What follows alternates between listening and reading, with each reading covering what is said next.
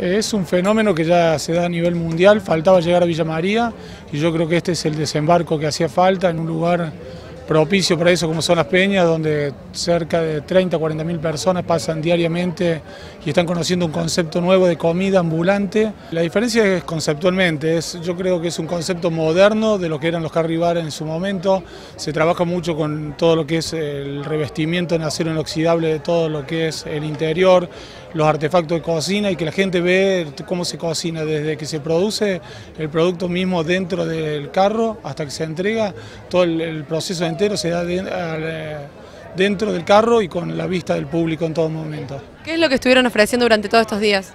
Eh, en este caso se ofreció desde papas tradicionales hasta sándwich gourmet de molleja, wok de pollo, wok de verdura. Se hizo la presentación de una marca conocida en Villa María de helados, de un producto premium que son las tabletas de helado, que eran las tabletas tradicionales de hace muchos años que volvieron. Eh, yo creo que un abanico de productos donde se buscó darle buena calidad a la gente y a buenos precios, que es lo principal, y por eso la, respuesta que tuvimos en la gente, y me animo a decir que fue el boom de estas peñas, fueron los camiones de comida.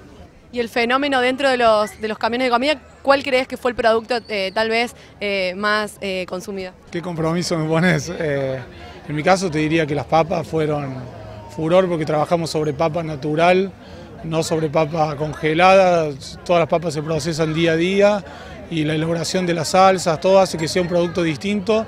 Es el tradicional cono de papa, pero con una calidad, diríamos de alguna manera, premium. ¿Están armando eh, un cronograma para el año, para estar girando por la provincia, por la región? Sí, nosotros en la provincia venimos trabajando mucho. Este fin de semana parte de los camiones viajan a San Agustín, cerca de Río Tercero, a la fiesta de la Rana Gourmet y estamos cerrando con otra localidad cercana a Villa María para llevar otra parte de los camiones. Hay compromiso de la gente de Marco Juárez, de Belville, eh, Leones, posiblemente más adelante Pozo del Molle, para llevar el circo, como le decimos nosotros, ambulante los camiones de comida a distintas localidades del interior.